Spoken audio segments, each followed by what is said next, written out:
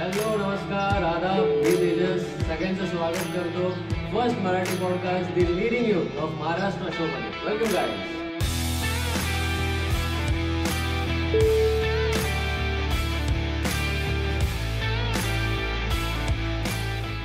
Hello, hi, how are you?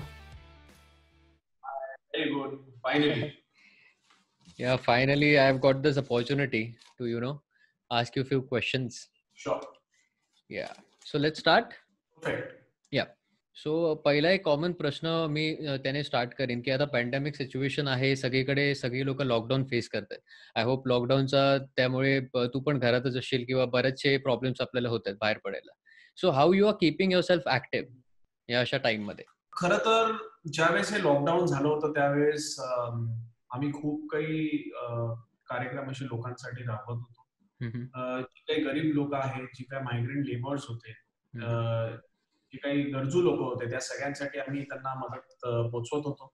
परंतु situation दिवसांदिवस ती situation एवढी खराब होत गेली की आता आम्हालाही घरी बसायची वेळ आलेली आहे. परंतु इनिशियली जेव्हा हा लॉकडाऊनचा पिरियड स्टार्ट झाला होता त्यावेळेस आम्ही किमान बत्तीस हजार लोकांना पर डे आम्ही ठाणे मीरा भाईंदर असो या दोन्ही शहरांमध्ये जे गरजू लोक होते त्यांच्यापर्यंत जेवण पोचवत होतो. मी त्या प्रभागाचा नगरसेवक आहे किंवा माझे वडील ज्या प्रभागाचे आमदार आहेत माझी आई ज्या प्रभागाची नगरसेविका या संपूर्ण मतदारसंघामध्ये आमचा ओळा जेवढा मतदारसंघ आहे. त्या मतदारसंघामध्ये आम्ही घरोघरी लोकांना राशन सुद्धा पोहोचवायचं काम करत होतो. परंतु कुठेतरी जाऊन आम्ही स्वतः इन्व्हॉल्व्ह होत होतो आणि आता आम्हाला ते शेवटी सिच्युएशन एवढी खराब झाली की आम्हालाही आता घरी बसावं लागते म्हणून तू जसं विचारलंस की आता मी. स्वतःला कसं ऍक्टिव्ह ठेवतोय तर लहानपणापासून कुकिंगची मला आवड होती.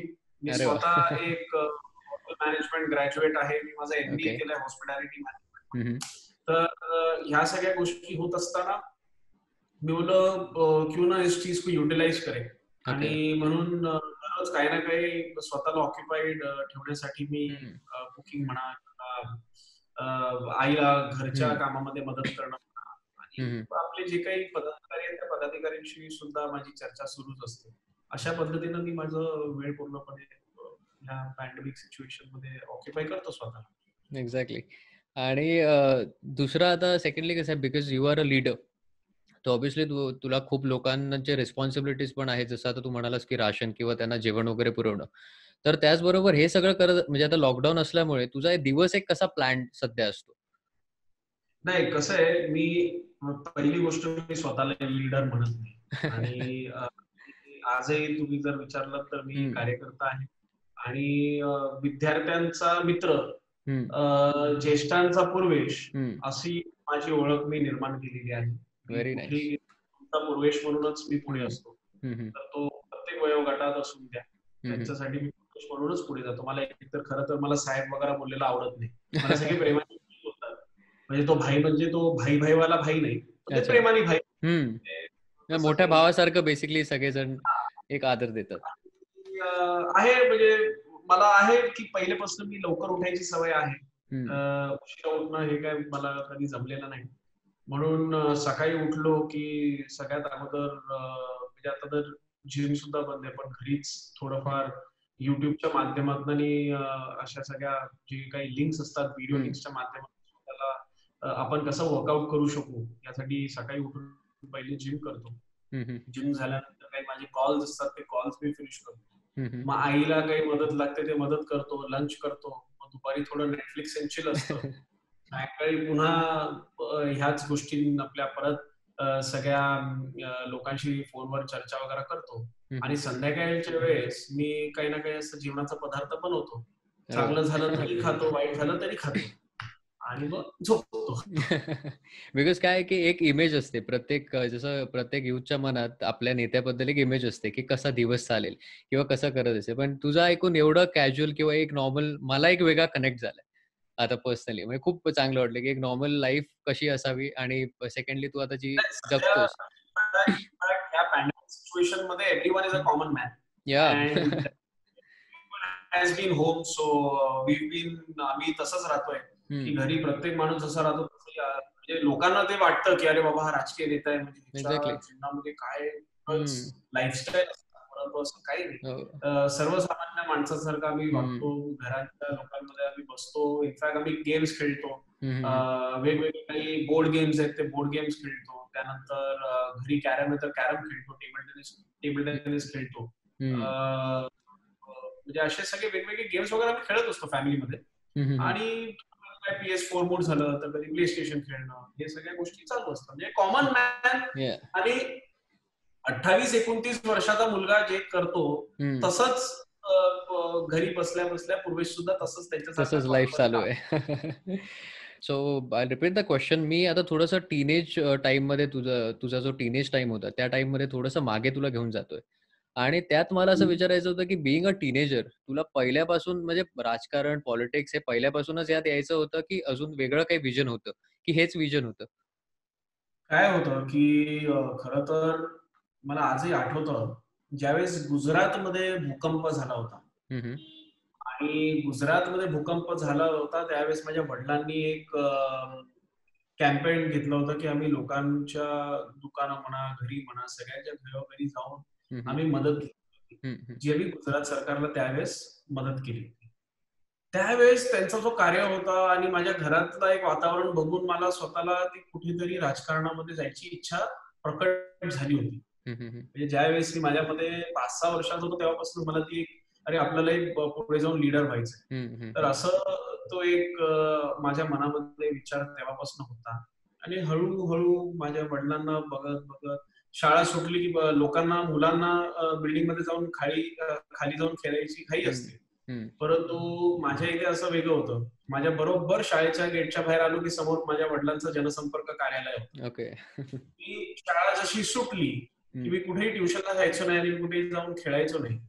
मी त्यांच्या ऑफिसमध्ये जाऊन बसायचो फक्त आणि त्यांच्या ऑफिसमध्ये काय शेवटी नाही म्हटलं तरी आता तुम्ही आता सिच्युएशन पॅन्डेमिकची आहे परंतु ऑन अ नॉर्मल डे सुद्धा आमच्या ऑफिसमध्ये जर तुम्ही बघितलं तर. म्हणजे शंभर दीडशे लोक असेच बसलेले असतात हो हो हो. काही काही मदत असते हे या होतं. तर एक खूप बिझी ऑफिसचं वातावरण असायचं आणि त्यामध्ये राऊंड राऊंड राऊंड राऊंड मग कार्यकर्त्यांबरोबर बसून गप्पा मारत हे करत करत करत मला राजकारणाची आवड निर्माण.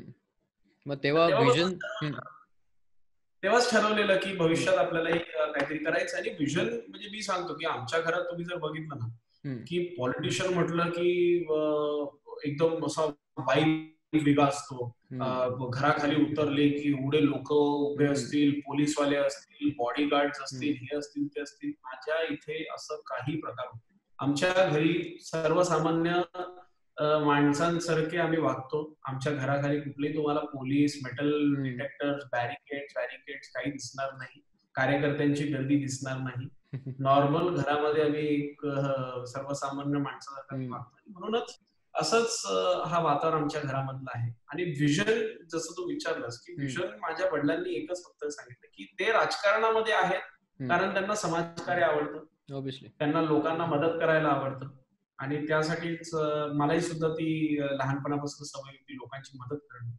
आणि त्यासाठी राजकारणामध्ये आलो आणि विजन म्हटलंच तर आमच्यासाठी फक्त डेव्हलपमेंट.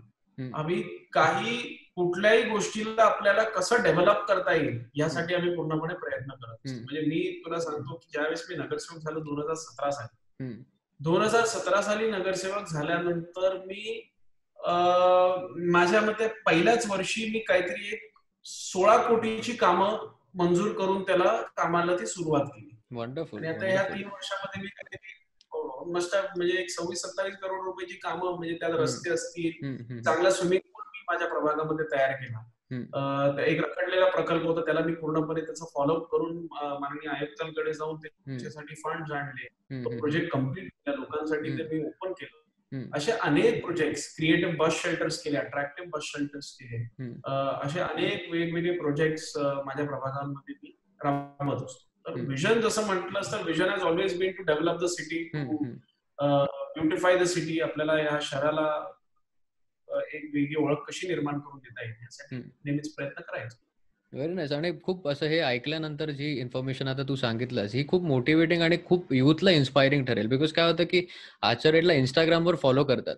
बट ते इंस्टाग्रामवर अर्धवट फक्त फोटोज बघून लोक कधीच ती माहिती पूर्ण वाचून किंवा यु नो की काय डेव्हलपमेंट झाली किंवा कसा हा एक जर्नी ह्याची चालली हे हो. जास्त करून बघत नाही. त्यामुळे हा शोचा पण आमचा तेच मोटिव्ह होता की डिटेल्समध्ये थोड्याशा ह्या गोष्टी कळल्यानंतर कुठेतरी ते चित्र क्लिअर होईल. की राजकारणात मुलांनी यावं का?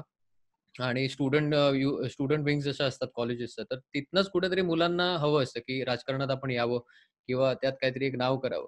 सो कुठेतरी ह्या गोष्टी अशा ट्रान्सपरंटली आम्हाला ठेवायच्या आहेत की जेणेकरून एक चित्र तरी क्लिअर असावं तुम्ही उगाच ते करिअर म्हणून निवडून उद्या सकाळी चुकू नका त्यासाठी. मी इनफॅक्ट तुमच्या सगळ्या व्ह्युअर्सला एवढंच सांगेन की राजकारणामध्ये don't get into politics as a business get into politics if there is a passion if there is a vision म्हणजे तुमच्यामध्ये जर खरंच काही जिद्द असेल काम करण्याची तरच तुम्ही राजकारणामध्ये या. राजकारणाने राजकारण म्हणत राजकारणात समाजकारण आणि निश्चितपणे तुम्हाला जर वाटत असेल की अरे पॉलिटिक्समध्ये आल्यानंतर आपल्याला एक वेगळी ओळख मिळते एक वेगळी रेप्युटेशन असतं तर तसं काही नाहीये. प्रत्येक मला ती रेप्युटेशन क्रिएट करावी लागते. आणि त्याचं तुम्ही फक्त एकच सजेशन द्यायचं की त्याचं त्याला तुम्ही म्हणजे त्या रेप्युटेशनला तुम्ही कधीही you shouldn't you know go against it like you know you should always respect what you have म्हणजे त्याला तुम्ही खूप रिस्पेक्ट करणं गरजेचं आहे. आणि तोच सल्ला मी तुमच्या सगळ्या व्ह्युअर्सला देऊ इच्छितो. व्हेरी नाईस नेक्स्ट क्वेश्चन मी थोडासा टीनेज टाइम मधलाच मी तुला एक रिपीट करतो दुसरा एक क्वेश्चन असा की तेव्हा तुझ्या अशा हॉबीज काय होत्या? बिंग इन स्कूल किंवा इन ज्युनियर कॉलेज हॉबीज काय होतं तेव्हा? मला फुटबॉल खेळायची खूपच आवड होती. मी स्पोर्ट्समध्ये तसा खूप ऍक्टिव्ह होतो. मला फुटबॉल खेळायला आवडायचं फुटबॉल बघायला आवडायचं. आवडतं अजूनही. मी स्क्वॉश खेळायचो. आणि cooking has always been a hobby म्हणजे कुकिंग मला नेहमीच आवडलेलं आहे. म्हणजे त्यामध्ये आणि कसं आहे थोडंसं फूड म्हटलं की मला शेवटी माझा व्यवसाय सुद्धा फूडचाच आहे. आणि त्यासाठी मला फूड एक्सप्लोर करायला खूप आवडतं. तर कॉलेज डेजला पण मी काय करतो वेगवेगळ्या अशा रेस्टॉरंटमध्ये जाऊन काय वेगवेगळी क्विझिन्स आहेत ती क्विझिन्सला मी एक्सप्लोर करायचो. मग ते घरी येऊन त्याला आपण प्रयत्न करायचो ते बनवायला. अशा सगळ्या गोष्टी मी कॉलेजच्या टायमाला करत आहे आणि फुटबॉल हॅज ऑलवेज बीन म्हणजे आता एक बघशील कॉफी पितो तर कॉफी पिताना सुद्धा माझा फुटबॉल ऍक्च्युली मँचेस्टर युनायटेडचा मी फार मोठा फॅन आहे. तेव्हापासून आहेच माझं तसं. फुटबॉलवरचा आवड आहे. सो आता मग फ्री टाइममध्ये हे हॉबीज यु नो फुटबॉल किंवा स्क्वॉश आता फ्री टाइममध्ये कधी खेळणं होतं की नाही टाइम आता स्क्वॉश कारण सगळंच बंद आहे. हो. नाही नाही not about the lockdown but normally जेव्हा लॉकडाऊन संपेल किंवा नॉर्मली जनरल येस लॉकडाऊनच्या व्यतिरिक्त सुद्धा मी खेळतो. म्हणजे फुटबॉल आता ऍक्च्युली खेळत नाही. कारण फुटबॉलमध्ये काय होतं की आजच्या सिच्युएशनला chances of accident are quite high आणि कुठे काय ऍक्सिडेंट झालं ज्याच्यामुळे आपल्याला घरी बसावं लागेल तर तसं मला तसं नाही फुटबॉल आता मी खेळत नाही कारण माझा एकदा ऑलरेडी ऍक्सिडेंट झालेला आहे. फुटबॉल खेळताना मोठा. तर त्यासाठी आता मी सध्या तरी फुटबॉल खेळत नाहीये. आणि स्क्वॉश आता मी खेळतो तरी आठवड्यातून तीन दिवस तरी मी स्क्वॉश खेळायचा प्रयत्न वेळ काढून स्क्वॉश खेळायचा प्रयत्न करतो. आणि फुटबॉलचं जर आहे मी आता फक्त टीव्हीवर बघतो आणि खेळायचं असेल तर प्ले स्टेशन प्ले स्टेशनवर खेळतो. सो मी ऍक्च्युली मी तुला थोडंसं या शो बद्दल आता सांगेन की ह्याची सुरुवात कशी झाली. बेसिकली मी खूप म्हणजे दोन वर्षांपासून मी सिंधुदुर्गातला आहे बेस्ट सावंतवाडी हे माझं गाव आहे. सो तिकडे शिवसेनाच मी बघतोय लहानपणापासून जे पण काय शिवसेनाच चालू होते. आमच्याकडचे दीपकभाई केसरकर जे तिथले आमदार आहेत सो कुठेतरी तेव्हापासून माझं एक सर्च चालू असायचं. बिकॉज मी खूप युथना बघायचो. मी स्वतः पण काही कॅम्पेन्स केलेत. सो कुठेतरी तिथे मी युथला बघायचो. बट त्याच्यात मला एकच आहे की युथना हे विजन असतं की यु नो की मला राजकारणात जायचं आहे माझं विजन आहे मला माझ्या सोसायटीसाठी चांगलं करायचं आहे. बट यु नो काय ही प्रोसेस आहे? जर आता एका युथला एका युवा पिढीतल्या कुठच्या एका व्यक्तीला मुलगी असो मुलगा असो जर राजकारणात यायचं असेल not being in any political party तो बेसिक आहे प्लेन आहे काही फॅमिली बॅकग्राऊंड नाहीये नो रेफरन्सेस तर तो कसं चालू करू शकतो? कसं स्टार्ट करावं? सी कसं आहे की मलाही माझ्या वडिलांनी किंवा आईने सांगितलं होतं तो राजकारणामध्ये. मी काय झालं की दहावीचं माझं शिक्षण झाल्यानंतर मी अकरावी बारावी जेव्हा मी पोदार कॉलेजला जायचो. हळूहळू मी कॉलेजच्या ज्या म्हणजे जीएसचं इलेक्शन असेल ह्या सगळ्या गोष्टी आमच्या कॉलेजमध्ये असायच्या त्यामध्ये मी थोडं थोडं इन्व्हॉल्व व्हायचो. ऍट द सेम टाइम मी काय करायचो की माझे काही मित्रवर्ग आहेत त्यांच्याबरोबर बसून आपल्याला लोकांची मदत कशी करता येईल? ह्या पद्धतीनं आपण लोकांना मदत करायला सुरुवात केली म्हणजे without taking my father's and my mother's help आई वडिलांची. मदत न घेता आपण. कामाला सुरुवात केली हळूहळू करत करत करत त्यांनी यु नो त्यात एक प्रोसेस आहे. की तुम्ही अगोदर काम करा मग त्याच्यामध्ये तुम्ही एक आवड निर्माण करा. हळूहळू हळू करत करत करत you know there is a liking for a leader. तर त्यावेळेस मी सन्माननीय आदित्य साहेबांना खूपच जवळून बघायचो कारण त्यांचे त्या पद्धतीनं काम करायचे. ते ज्या पद्धतीनं युथशी इंटरॅक्ट करायचे. ह्या सगळ्या गोष्टींमुळे मी इतर कुठल्याही युवा नेत्याला अट्रॅक्ट न होऊन. मी आदित्य साहेबांना अट्रॅक्ट झालो कारण मला त्यांचं काम खरंच आवडायचं आणि. त्यात तुम्ही जर बघितलं तर खऱ्या अर्थाने आजही महाराष्ट्रामध्ये युवा नेता कोणच नाही म्हणजे. आदित्य साहेब हे. स्वतः एकटेच युवा हो. नेते बाकी सगळे चाळीस पन्नाशीचे स्वतःला युवा नेता. परंतु आदित्य साहेब ज्या पद्धतीनं काम करायचे त्यांना मी म्हणजे त्यांचं काम मला फार आवडलं. त्यांच्या कामाला अट्रॅक्ट झालं. आणि त्या दृष्टिकोनातून मी ऑटोमॅटिकली हळूहळू हळू त्यावेळेस भारतीय विद्यार्थी सेनेमध्ये प्रवेश करून मग राजकारणामध्ये माझी मी खरी सुरुवात केली. लोकांनी मला ज्या काही नवीन युवा पिढीचे माझे मित्र मैत्रिणी असतील त्यांना मला एवढंच सांगायचं हळूहळू थोडं कामा म्हणजे लोकांची मदत करा. समाजकारण करा राजकारण करू नका सम- समाजकारण करा समाजसेवा करा. समाजसेवेच्या माध्यमातून हळूहळू तुमचं राजकारणामधलं एक इंटरेस्ट जो. आहे. तो डेव्हलप होईल तुमची एक आवड त्यात निर्माण होईल. आणि हे सगळं झाल्यानंतर हळूहळू तुमचा राजकीय नेता तुमचा आयडल कोण आहे त्याला तुम्ही फॉलो त्या पद्धतीनं तुमची ऑटोमॅटिक राजकारणाची सुरुवात कधी होईल तुम्हाला कळणार सुद्धा. म्हणजे ह्यात कुठला असा फॉर्म्युला नाहीये. पण एवढंच आहे की तुमची इच्छा राजकारणातली तुम्हाला निर्माण स्वतःहून करावी लागते मेहनत तुम्हाला करावी लागते आणि त्या दृष्टिकोनातून तुमचं कधी काय होणार? म्हणजे मी नगरसेवक कधी झाले मला कळलंच नाही. तर सगळ्यांनाही मला सांगायचं की तुम्ही काम करत राहा आणि see everything has to every everything will come your. Way तसंच एन्जॉय द जर्नी जर्नी चांगली एन्जॉय करा first of all Plan the journey. म्हणजे मी असं नाही म्हणणार की म्हणजे मी असं कधी केलं नाही. मला you know X Y Z इयरला मला आमदार व्हायचं एक्स वाय झी हम्म. इयरला मला नगरसेवक व्हायचं एक्स वाय इयरला मला खासदार व्हायचंय. मी असं कधीच प्लॅन केलं नाही. जे होईल ते होईल. असं प्लॅन करून राजकारणामध्ये काय प्लॅन करून होत नाही. शेवटी जनतेच्या हातात असतं कोणाला काय बनवायचंय. म्हणून तुम्ही काम करत राहा. आणि मग योग्य वेळेस तुम्हाला योग्य संधी मिळणार याचा मला पूर्णपणे विश्वास आहे. सो आता सध्या तरी युट्यूब किंवा गुगलचा एक सर्च रेकॉर्ड आम्ही काढला होता. तर त्यात असंही बऱ्याचदा सर्च केलेलं आहे की does active politics pay so ही काहीतरी कॉन्सेप्ट एक कन्फ्यूज झालेली आहे म्हणजे हे करिअर म्हणून फुल फ्लेश ह्याच्यातच यावं. इथनच तुम्हाला जे काय मानधन असेल किंवा सॅलरी बेस्ड असं काय असेल हे मिळणार आहे. डज इट पे की कसं काय ह्याकडे बघावं युवाने? If you if you ask me for anyone who thinks की राजकारणामध्ये आल्यानंतर आपल्याला पैसे कमवता येतील तर मला त्यांना एवढाच सल्ला द्यायचा की मग अशा लोकांनी राजकारणामध्ये येऊ. राजकारणामध्ये आल्यानंतर तुम्ही एक लक्षात ठेवा की the only thing that you can earn म्हणजे तुम्हाला जर काय कमवायचं आहे राजकारणामध्ये तर ते लोकांकडनं तुम्ही प्रेम कमवू शकता. लोकांचा तुम्ही आशीर्वाद कमवू शकता. लोकांकडनं तुम्ही त्यांची मतं कमवू शकता. परंतु पैसे कमवणं हे तुमच्यासाठी म्हणजे अशा पैसे कमवणाऱ्यांनी राजकारणामध्ये येऊ नये. असा सल्ला मी देतो. राजकारणामध्ये there is no incoming there is only outgoing म्हणजे राजकारणामध्ये इनकमिंग नसते राजकारणामध्ये आउटगोईंगच आहे. ज्यावेळेस लोकांची मदत करत असतात त्यावेळेस तुम्हाला कुठे ना कुठे ते स्पेंड करावंच लागतं. म्हणजे आता फॉर एक्झाम्पल आता ही पॅन्डेमिक सिच्युएशन आहे. म्हणजे आम्ही मोठ्या मनाने लोकांची मदत करतोय. त्यामध्ये. काय खर्च होतोय या गोष्टीचा आम्ही विचार करत नाही. देवाच्या कृपेने जेवढी आम्हाला मदत करता येईल तेवढी मदत आम्ही करतोय. तर हे असं नाही की आम्ही कमवतोय आणि मग ते. आम्ही राजकारणामधलं काहीतरी आम्हाला इन्कम. मिळतो आणि त्या रिसोर्सच्या माध्यमातून आम्ही लोकांना ते परत देतो तर तसं. नाहीये बिकॉज काय होतं की मुलं ऍज अ करिअर म्हणून ह्यात येतात आणि मग फॅमिलीकडनं कुठेतरी ते हे होतं करिअर लाईक आय सेड मी अगोदर पण you come into politics if you have if you if there is a passion म्हणजे तुमचं जर. खरी इच्छा असेल काम करायची राजकारणामध्ये म्हणजे आता मला जर विचारलं तर मी फक्त राजकारण करत नाही.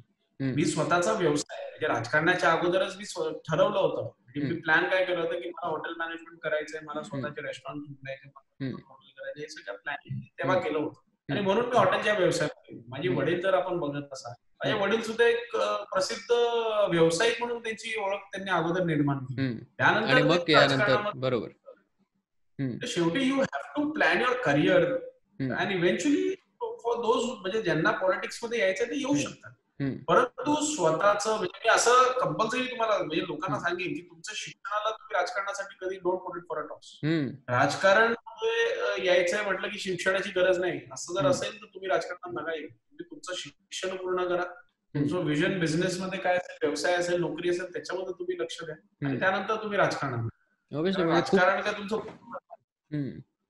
माझं तेच म्हणणं आहे. की राजकारणाने तुमचं काही पोट भरणार नाही. तुम्हाला राजकारणामध्ये फक्त आणि फक्त लोकांची मदत करण्यासाठी. यायचं परंतु लोकांची मदत करता करता स्वतःची मदत तुम्ही विसरून जाल.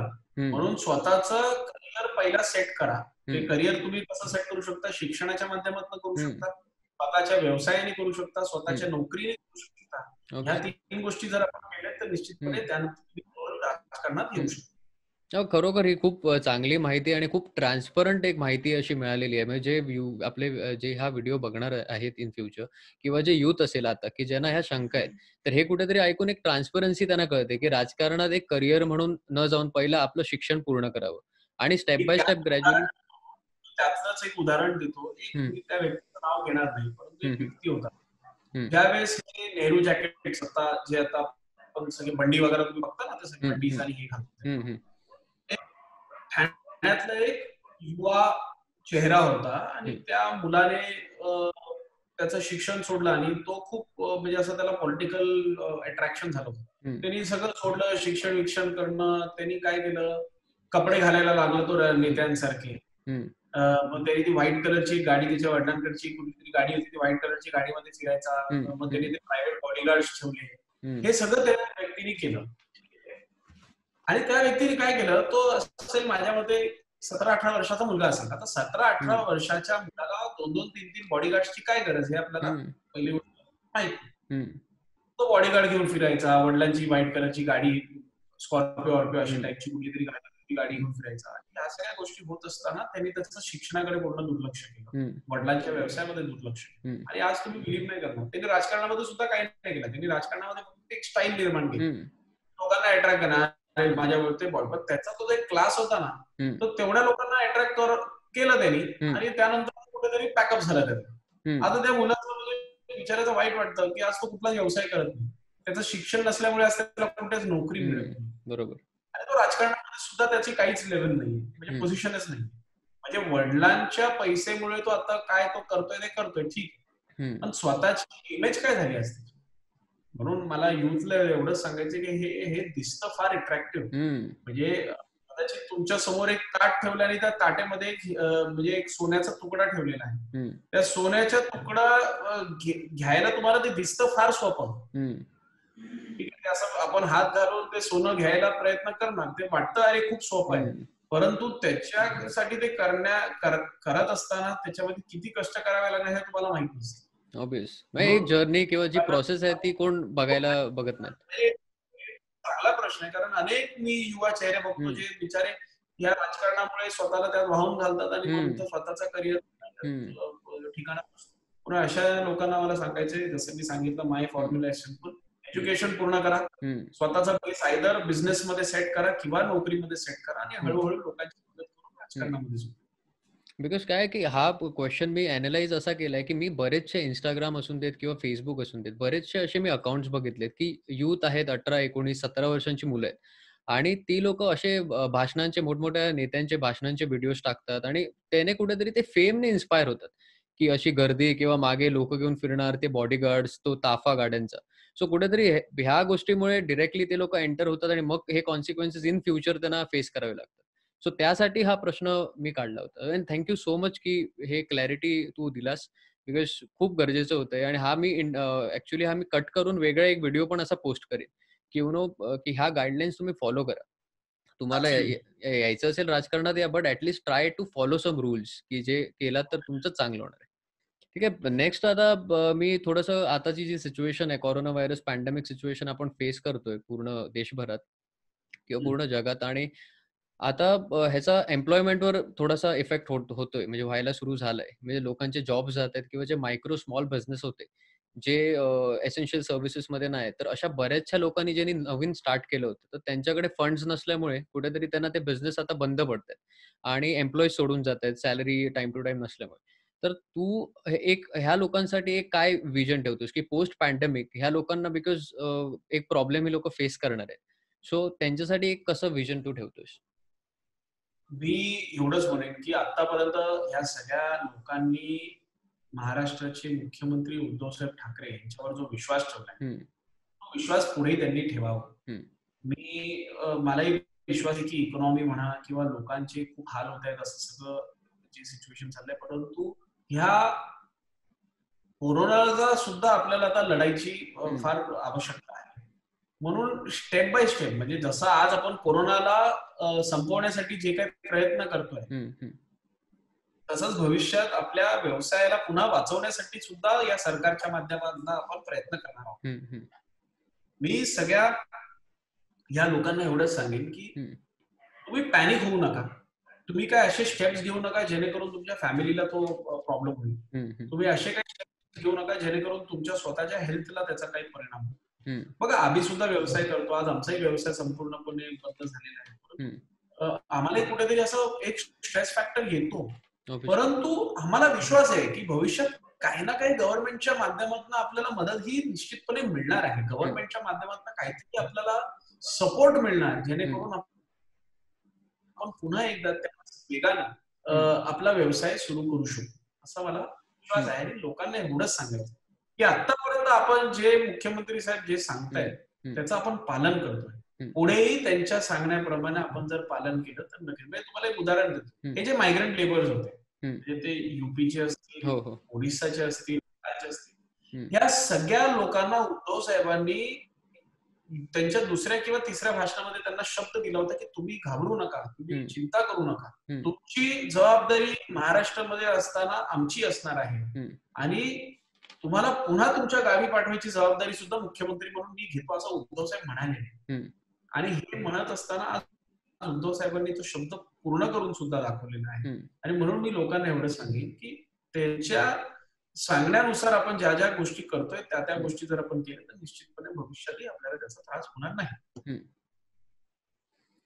आणि युथ एम्पॉवरमेंट ह्या शब्दाकडे एक तुझा पर्स्पेक्टिव्ह कसा आहे? म्हणजे कसं आहे की थोडे लोक जॉब ऑपॉर्च्युनिटीज आणतात किंवा जॉब्स प्रोव्हाइड करतात. मी असं म्हणत नाही की पॉलिटिकल लिडर्स किंवा असं काय बट थोडे लोक जॉब प्रोव्हाइड करतात. थोडे लोक एज्युकेशन प्रोव्हाइड करतात स्मॉल मायक्रो बिझनेसेस कसे स्टार्ट करावे किंवा कसं एक ऑन्टरप्रिनॉर बनावं.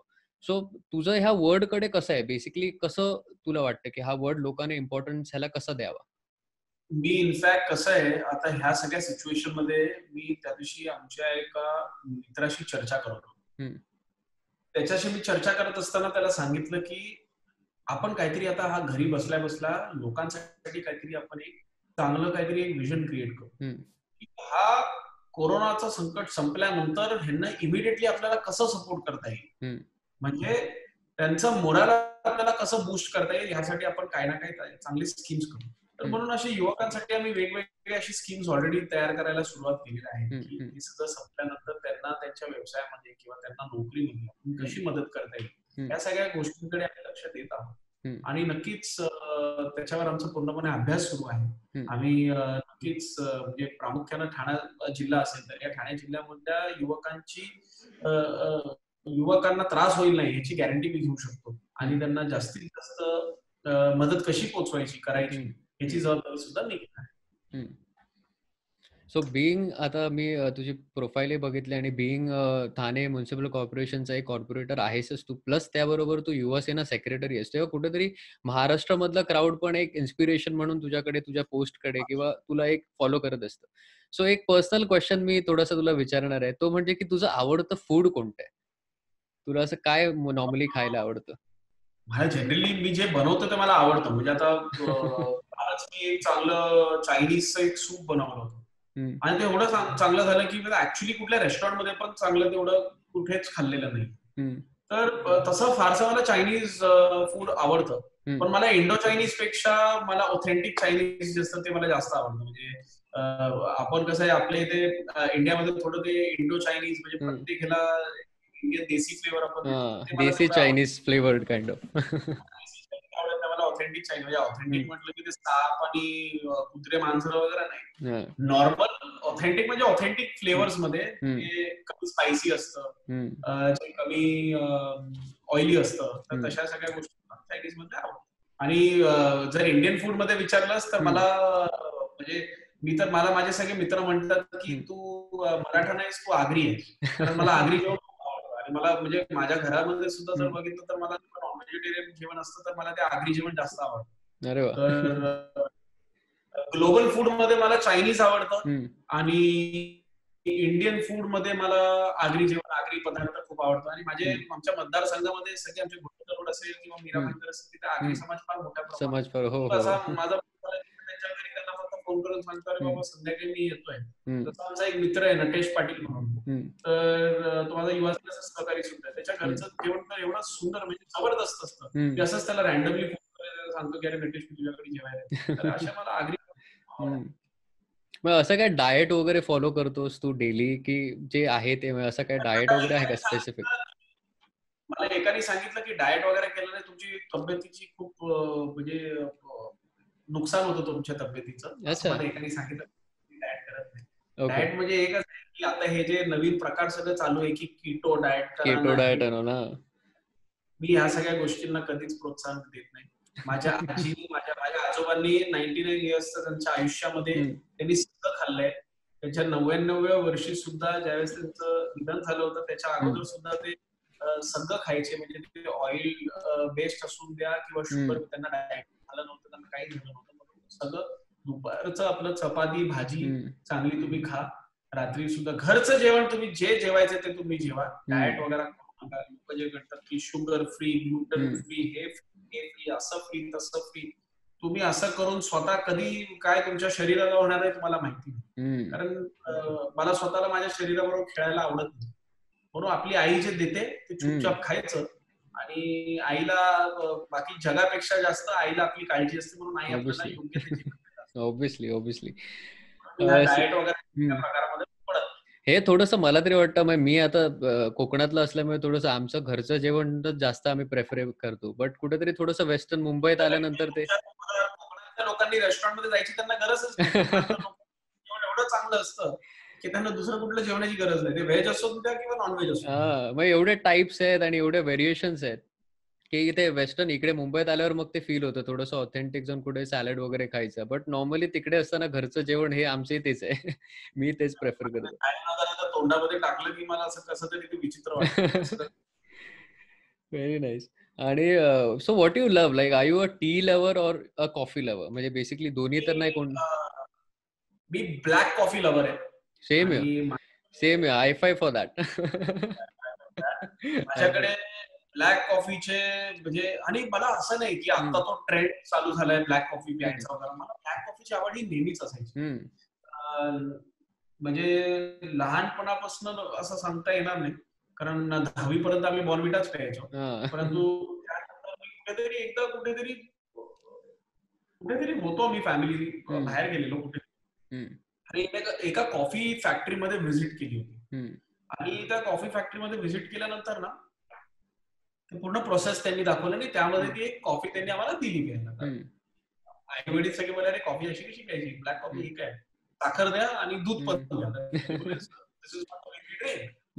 हो this is the way how we drink we need tea we need. Coffee we need. मिल्कमध्ये शुगरमध्ये आणि ते प्यायला मला ते आवडलं. आणि तेव्हापासून ती मी सवय लावली. आणि मग हळू हळू हळू हळू करत करत करत ती ब्लॅक कॉफीची मला सवय लागली I coffee die hard coffee same because without sugar black coffee हे नॉर्मली मी बघितलं नाही की कोण प्रेफर करतं. त्यांचं लगेच तोंड वाकडं होतं की दूध नाही साखर नाही. व्हेरी मी नाईस तर कॉफी मध्ये तुम्ही ब्लॅक कॉफी मध्ये जर साखर आणि ते लोक मी बघतो ना लिंबू टाकतात साखर टाकतात मला. लिटरली लिंबू टाकल्याने कसा फ्लेवर येतो माहितीये का? आपण तो भुट्टा खातो ना म्हणजे. कॉर्न कॉर्न ते तसा फ्लेवर येतो एक्झॅक्टली आणि विथ शुगर ती मजा पण नाही ऍक्च्युली कॉफीची taste like basundi. Sweet sweet so तुझी जी आतापर्यंतची जर्नी राहिली आहे म्हणजे अगदी दोन हजार सतरा मध्ये जसं तू म्हणालास की तू नगरसेवक म्हणून निवडून आलास किंवा त्याआधी पण जे युवा सेना किंवा एक समाजकार्याचं जे काम करतोस तर ही पूर्ण जर्नी चालू असताना असं कधी यू फेल्ड की यू आर लॉस्ट किंवा इथेच अडकलोय किंवा यु नो की मला हे करायचंय बट कुठेतरी तिथेच स्टक आहे तिथेच अडकून आहे. असं कधी फील झालं? सांगू का? माझं माझं नशीब एवढं चांगलं आहे ना.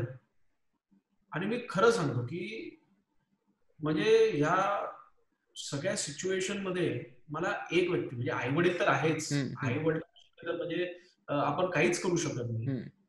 परंतु मी खुश झालो तरी एक व्यक्ती. मी मी कुठल्याही दुखात असलो तरी एका व्यक्तीकडे मी जातो. आणि ती जी व्यक्ती आहे ती व्यक्ती मला एवढ्या चांगल्या पद्धतीनं सांभाळते त्या व्यक्तीचं नाव आहे युवा सेनेचे प्रमुख. आदित्य ठाकरे साहेब म्हणजे ते एवढं म्हणजे प्रत्येक कार्यकर्त्यांशी. त्यांचं जे एक अटॅचमेंट आहे ना. ते फार वेगळं आहे म्हणजे मी कुठल्याही माझा कधी कधी काय होतं की आपण एक्स्ट्रा काम केल्याने किंवा. आपण थोडं काय असतं की थोडं आराम नाही शरीराला. आराम नाही सुद्धा आराम नसल्या कारणानं आपण काय होतं थोडं लॉस्ट होऊन जातो हम्म. आणि अशा टायमाला आदित्य साहेबांकडे आपण जाऊन फक्त असं थोडं की साहेब असं आहे तसं आहे तर ते ज्या पद्धतीनं मला गाईड करतात ना.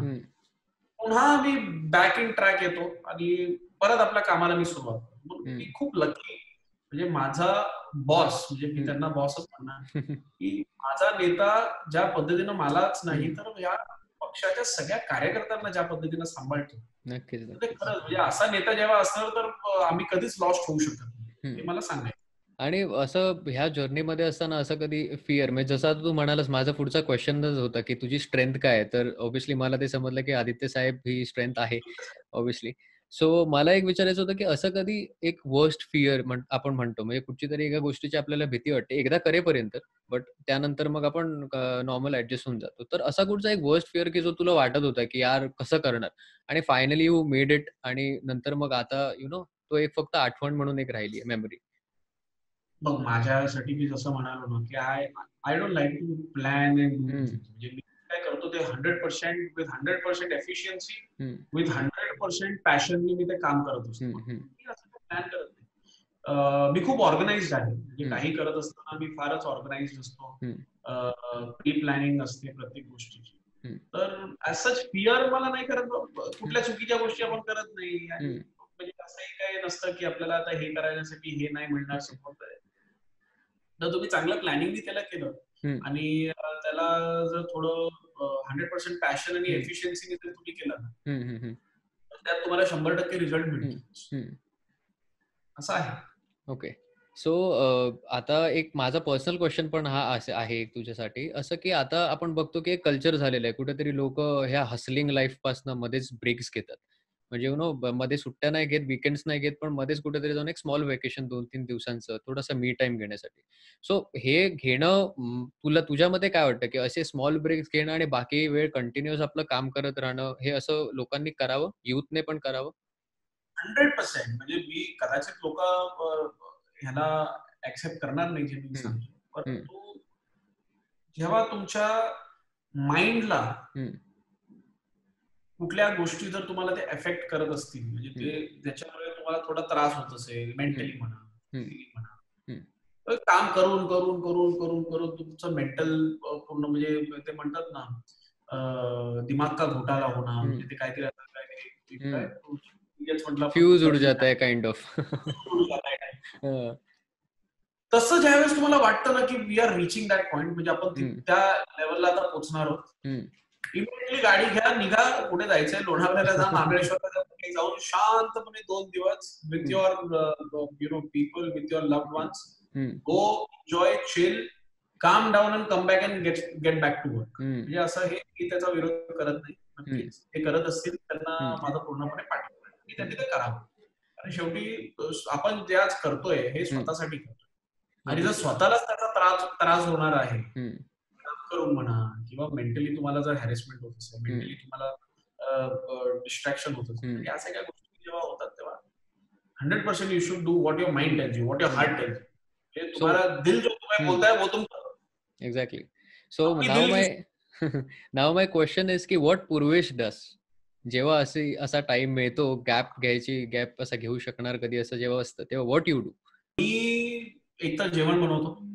आणि जर असं कुठे बाहेर आता ऍक्च्युली काय झालंय आता ह्या एकवीस तारखेला माझं लग्नाला एक वर्ष होणार आहे अरे आणि- कॉंग्रॅच्युलेशन इन ऍडव्हान्स तर या एक वर्षामध्ये it has been a. Long distance relationship between me and my wife कारण. ती अजूनही पुण्यालाच आहे आताही ती शी she's fighting with all the या या. I I seen like we are very proud to see that post तू इन्स्टावर पण पोस्ट केलं होतं ते she still in Pune and. तिथे पुण्याला भारती हॉस्पिटलमध्ये काम करते. कोरोनाचं त्यांचं हॉस्पिटल डिक्लेअर असल्यामुळे ती घरी काही येत नाही ती तिथेच आता काम करते पेशंटशी जबाबदारी तिच्यावर. एक वर्षामध्ये तर माझ्यासाठी चांगलं झालं होतं. कुठे काय असं मूड ऑफ झालं. डायरेक्ट गाडी बसायचं आणि डायरेक्ट पुण्याला जायचं. दोन दिवस आराम करायचा आणि परत यायचं. असा हा माझा पूर्वेशचा असा सध्याचा गेल्या एक वर्षाचा हा. फ्री टाइम असा करायचो. पण असं नॉर्मली जसं म्हणजे आता इन्स्टावर पोस्ट तर लोक करत असतात. सो मला तुला एक विचारायचं आहे की तुला असं काय मी टाइममध्ये बुक्स वाचणं आवडतं? किंवा येऊन आता मी जर असं घेतलं तर मी स्विमिंग प्रेफर करतो. Because I love doing it. So तुला असं काय बुक्स वाचणं किंवा यु नो थोडंसं स्विमिंग किंवा असं काय हॉबीज सी आय म्हणजे I be very honest but I never been a fan. म्हणजे मी जे आहे लोकांना नाहीतर असं वाटेल की अरे हा राजकारणामध्ये वाचत. पण मी. खोटं बोलणार? मी कधीच मला म्हणजे शाळेत सुद्धा मला बुक्स वाचायला कधी आवडलं नव्हतं. आणि आताही मला बुक्स वाचायला. मला या सगळ्या करत असताना आय लाईक टू म्हणजे काय करतो थोडं असं अं, म्हणजे टीव्ही पण मला तसा एवढं मी. फॅन नाहीये. पण मी generally I I like to play a game I like to play a sport और I like to talk to my friends माझ्या मित्रांची गप्पा काही किंवा म्हणा रेस्टॉरंटमध्ये जाऊन माझ्या तिथे काहीतरी म्हणजे. कामच करतो मला असं फ्री टाइम असं मला असं म्हणजे काय हॉबी. नाही I don't. Like to read I. Like to play squash I like to cook food. तर असं मी ते टाइमपास माझा वेळ काढत असतो. आणि असंच थोडं काही नेचरमध्ये म्हणजे मला आमच्या इथे ठाण्याला येऊर जंगल्स आहे येऊर हिल्स आहे. तर त्या येऊर हिल्समध्ये असंच चांगलं वॉक करायला मी जातो. तर मला ते. सगळ्यात जास्त ऍक्च्युली आवडतं. इनफॅक्ट या कोरोनामुळे आता तेही करता येत नाहीये. नाही. तर येऊरला तर जायचा जो आनंद आहे. इट मेक्स फ्रेश एंटायरली म्हणजे तसं मी करायला मला ते आवडतं. आणि हा मला ते नॅशनल जॉग्राफी बघायला खूप आवडतं. म्हणजे असे वाईल्ड अॅनिमल्स आणि हे सगळं ओके सो ऑब्विसली आता अ, तुझ्या जर्नीमध्ये तू असे मूवीज तर ऑब्विसली बघितलेच असशील. Bollywood movies I am talking about बघितल्यानंतर कुठेतरी इन्स्पायर होतात किंवा यु नो मोटिवेशन म्हणून एक मूवी आपला एक असं ठरलेले मूवीज असतात. तर असे कुठचे तरी टॉप थ्री मूवीज तू असे सांग की जे ह्या युवा पिढीने किंवा युवानी जरी बघितले तर त्यांना पण कुठेतरी ते इन्स्पिरेशन मोटिवेशन मिळू शकेल. Any three movies so see I am I am a die heart Bollywood fan म्हणजे मला बॉलिवूड खूपच आवडतं. त्यातलं माझी म्हणजे लोक हसतील. पण. माझा सगळ्यात आवडता पिक्चर जर कुठला आहे हा चित्रपट आहे. तर तो बागबान नावाचा एक पिक्चर आहे. आय नो आय नो त्याच्यामध्ये अमिताभ जी आहेत आणि सलमान भाई आहे आणि तो पिक्चर मला खूपच आवडतो. म्हणजे. मी डाय हार्ड शाहरुख फॅन आहे. पण इन्स्पिरेशन का? कारण. आई वडिलांना खऱ्या अर्थाने रिस्पेक्ट कसं करायचं? हे त्या चित्रपटामध्ये दाखवलेलं आहे. बरोबर. तो पिक्चर तुम्ही मला किती वेळाही सांगा. म्हणजे. मला लिटरली सीन टू सीन मला तो पिक्चर बाहेर आहे. तो एक पिक्चर मला खूपच आवडतो. दुसरा मला एक अभिषेक बच्चनचा गुरु पिक्चर खूप आवडतो. ज्याच्यामध्ये त्यांनी दाखवलेलं आहे की ज्या पद्धतीने म्हणजे how smart can a person be तर तो एक पिक्चर मला तसा आवडतो खूपच. त्यानंतर मला एक चक दे इंडिया जो शाहरुख खानचा हो. मूवी आहे. इन्फ्लुएन्स मला म्हणजे खरंच म्हणजे इन्स्पायरिंग म्हणजे काय? बघा आम्ही असं नाही म्हणणार की तुम्ही थोडं म्हणजे ते कॉम्प्लिकेटेड मूवीज मला आवडत नाही. म्हणजे नो बकवासवाले पिक्चर आवडतात. तर त्यात इंडिया पण खूपच चांगलं आहे आणि खूप. इन्स्पायरिंग म्हणजे त्या. पद्धतीनं तुमचं मेंटली आणि तुम्हाला कसं त्यात स्वतःला म्हणजे स्वतःची ताकद काय आहे त्या पिक्चरमध्ये तुम्ही दाखवत. आवडतात.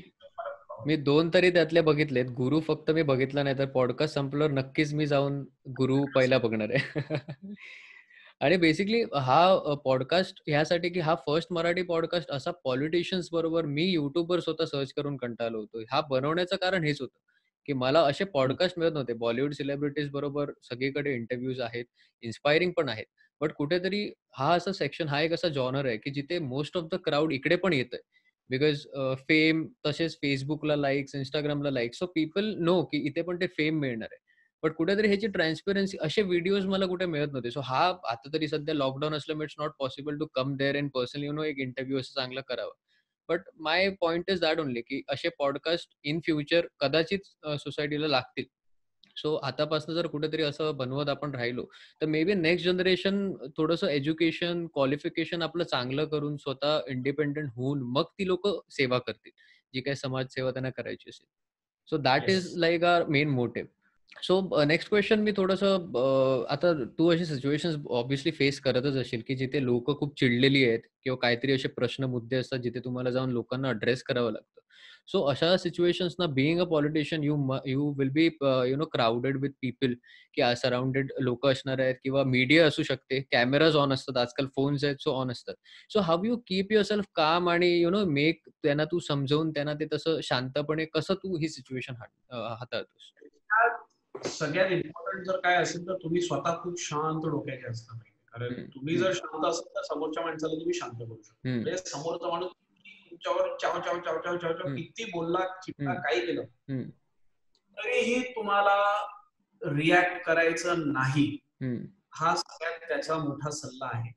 कधीही समोरच्या म्हणजे रिॲक्शनला तुम्ही ओव्हर रिॲक्ट करू नका. कारण हे ओव्हर रिॲक्शन कदाचित तुम्हाला खूप भारी पडू शकतो.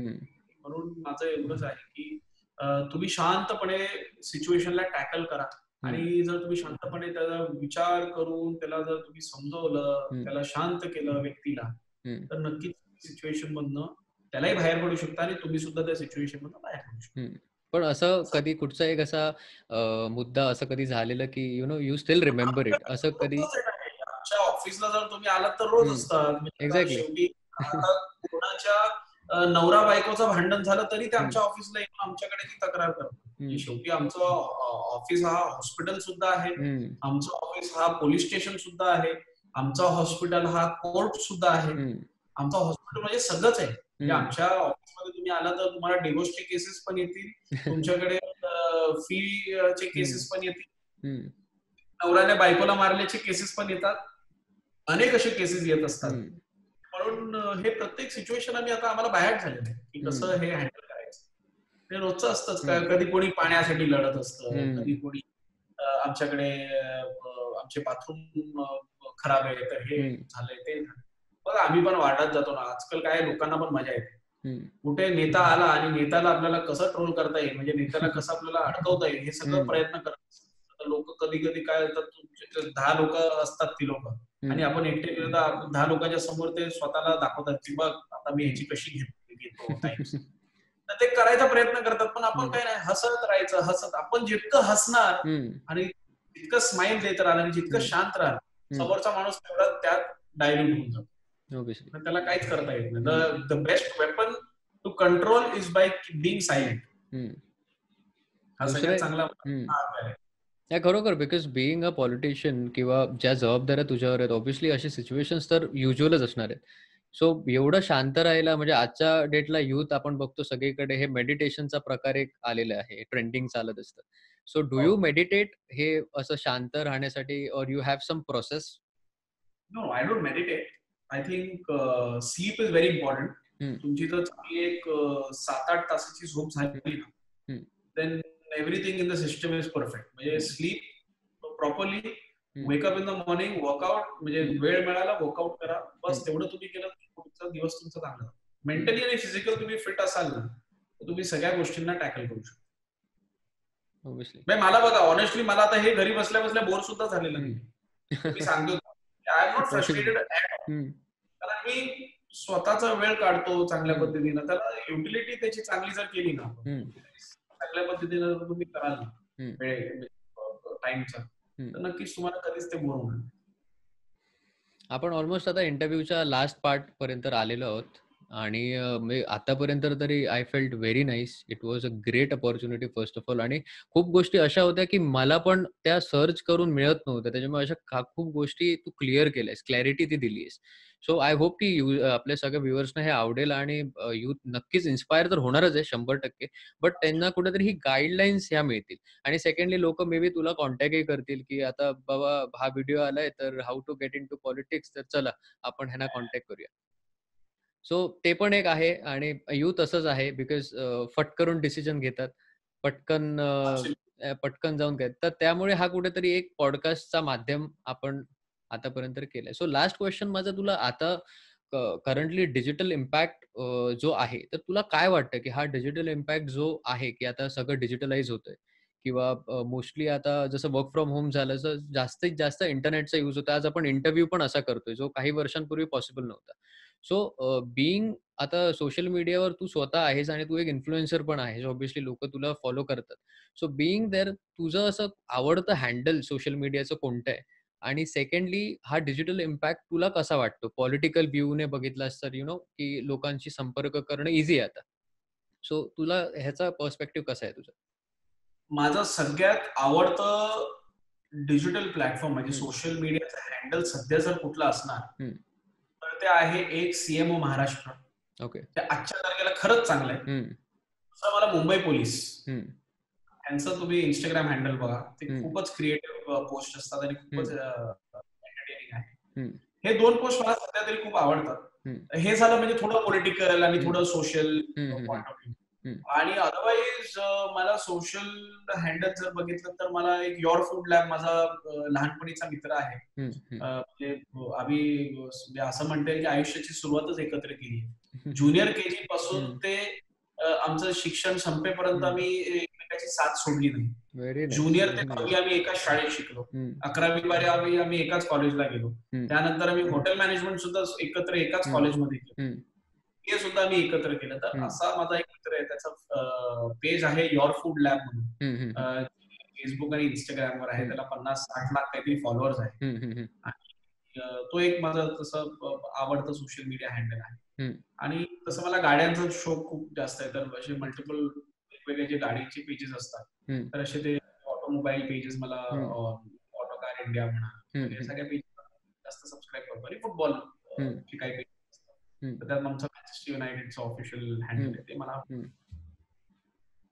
impressive this was the last question basically आणि सोशल मीडिया हँडल पण तू खूप चांगलं सांगितलंस म्हणजे एक अवेअरनेस पण त्यामुळे होईल. आणि लोक आय नो की ही ह्या गोष्टींना फॉलो करायला बघत नाहीत बट आता नक्की करतील. Secondly it was my pleasure to have you on the show आणि अं, हा बेसिकली नवीनच शो आहे. सो बऱ्याच लोकांची मी आता चर्चा करणार आहे ह्याबद्दल. सो मला एक फक्त तुला जेव्हा मी अप्रोच केला म्हणजे जेव्हा मी तुला इंस्टाग्रामवर मेसेज केला आणि फायनली आता सगळं ती प्रोसेस तो इंटरव्ह्यू सगळं आता कंप्लीट होत आलंय. So what you feel about this channel about this concept and about everything like what what is your perspective right I think uh, it's a great initiative that you have taken. चांगल्या पद्धतीनं तुम्ही करताय. आणि आनंद आहे की तुमच्यासारख्या माझे युवा मित्र जेव्हा पुढे येतात आणि अशा गोष्टी जेव्हा ते सुरुवात करतात तर नक्कीच तुम्हाला नेहमीच सपोर्ट करायला मी तयार आहे. ज्या त्या वेळेस तुम्हाला मदत हवी त्या त्यावेळेस मी मदत करायला तयार. परत एकदा तुम्हाला भेटण्याचा आम्ही विचार आमचा आहेच की पर्सनल एक इंटरव्ह्यू पण घ्यावा. सगळं झालं कोरोना की नक्की भेटूया ब्लॅक कॉफी नक्की नक्की. ब्लॅक कॉफी एकत्र आपण पिऊया मग इंटरव्ह्यू करूया. So it was great thank you so much for being on the show best Marathi podcast हा असल्याने लेट सी आता कसा याचा रिस्पॉन्स आणि कसं क्राऊड आपल्याला प्रेम देणार आहे. But thank you so much thank all the best and thank you so much thank you so much